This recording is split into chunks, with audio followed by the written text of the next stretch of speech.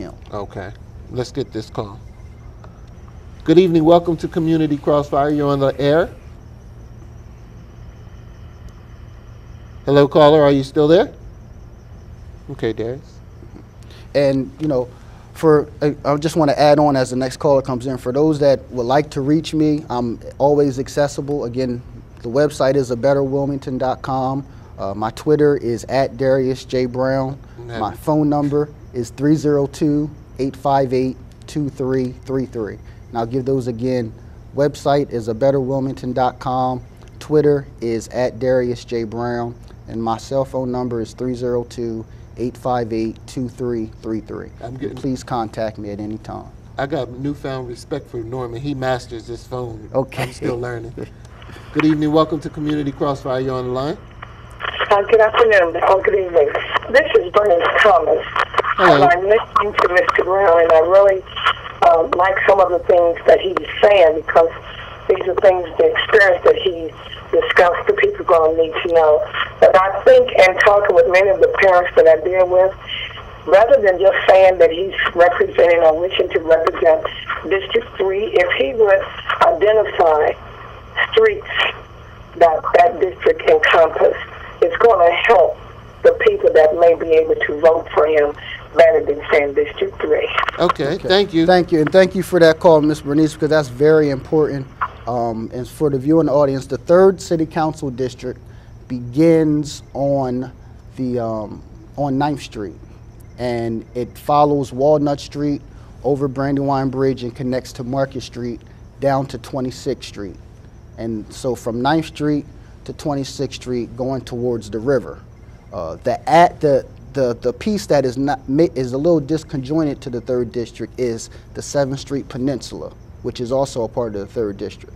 So you have the Seventh Street Peninsula, and then you have half of the east side from 9th Street going going um, going north to north to northeast, and then um, to 26th Street, and then you have Walnut to Market to the river, which is another half of the northeast um, area of the city of Wilmington, which is again what I was talking about when you talk about neighborhoods and community.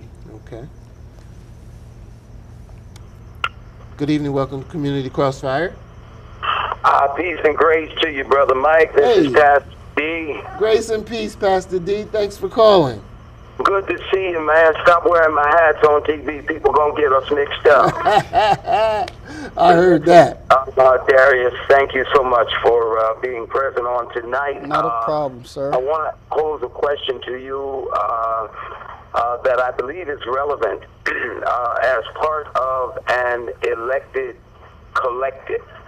Um, how we have journeyed as a people to where we are is, I believe, the result of one reality, which is a cliche anymore. It is simply speak truth to power. I would have you to address how you intend to speak truth to power. That is to say, to speak up and speak out when instances of injustice, um, which I would consider the recent debacle concerning my own candidacy and other class and caste kinds of situations. Um, it certainly is a time in which every elected official must, as a part of the collective, speak truth to power. Uh, for Dr. King said, and I will hang up and listen, but Dr. King said to us um, uh, when the so-called good people refuse to speak, uh, they are just as bad as the so-called bad people. Uh, how do you intend to speak truth to power, and on what kinds of issues uh, would you speak up and speak out on? Thank you. I will listen. Thanks, Pastor D. Well, thank you. Um, and that allows me to get to the other the other three R's, um, which the initial one or the, fir- the first well the third second one is retool. Um, the third is to revitalize, and then the last is to redevelop. So I want to uh, focus on retooling because that's really where a lot of the issues that I'll be speaking up are about, and that's around jobs and education. Uh, for me, I believe that the pathways out of poverty are through jobs and education within the city of Wilmington, but particularly the third district. in the east side and northeast area of the city, um, there is a lack of opportunity around supporting people and providing those employable opportunities around jobs. And so what I've done for the last two months on my show, A Better Wilmington, is to bring in different organizations within the city that provide job training opportunities, employable opportunities here in the city of Wilmington. The second part is education. Uh, I'm not going to bore you with numbers. If you go to the website of betterwilmington.com, all the numbers are on the website. But around education, because there could be no education debate in the city of Wilmington without including the third district. The third district encompasses Howard High School, Stubbs Elementary School, Prestige Academy, Eastside Charter School, Thomas Edison Charter School, Moyer Academy, and the previous Marion T Academy.